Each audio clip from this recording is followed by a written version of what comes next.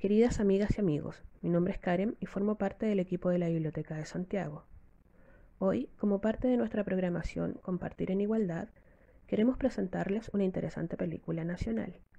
Se trata de Princesita, una película que cuenta la historia de Tamara, una niña de 12 años que vive en una secta regida por las reglas y creencias de Miguel, su líder, quien impone un destino para Tamara, procrear junto a él a su sucesor pero Tamara se enamora de un compañero, relación que estará reñida con el propósito de Miguel, una película inspirada en hechos reales sucedidos en el sur de Chile.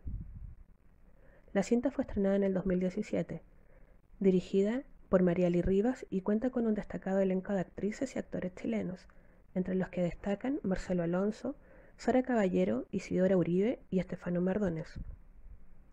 Tiene una duración de 78 minutos, y ha sido galardonada con importantes premios internacionales, destacando entre ellos Mejor Película del Festival, Mejor Largometraje Internacional, Mejor Interpretación y Cinematografía en el Festival de Cine de Londres 2018.